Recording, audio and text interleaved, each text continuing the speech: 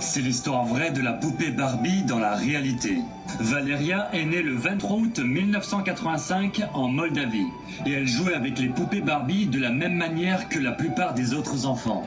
Avant que Valeria ne devienne une poupée Barbie vivante, elle avait des traits extrêmement beaux.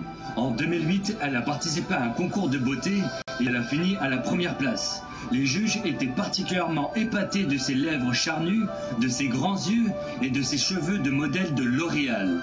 Malgré la victoire de Valeria au concours de beauté, elle n'était toujours pas satisfaite de sa propre apparence et elle a décidé qu'il était temps de faire passer son look au niveau supérieur. Aujourd'hui, Valeria est pratiquement impossible à manquer. Quiconque la voit en public se demande comment c'est réel.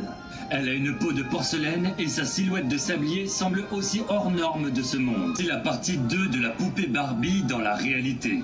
La plupart des gens supposent que Valeria a subi plusieurs chirurgies pour obtenir son look, mais elle affirme qu'elle a subi qu'une seule opération. Par contre, son visage sans maquillage est totalement naturel. Mais comment fait-elle pour avoir des yeux aussi grands? Son secret, c'est qu'elle peint une illusion d'optique autour de ses yeux avec un phare à paupières pour donner l'impression qu'ils sont encore plus D'ailleurs, elle a même une chaîne YouTube remplie de tutoriels où elle montre chaque matin la façon dont elle réalise son look Barbie. Mais ce n'est pas tout, Valeria a récemment décidé de nouveaux objectifs corporels. Elle veut développer ses biceps et ses abdominaux en allant à la salle de sport. Et toi, t'en penses quoi de Valeria?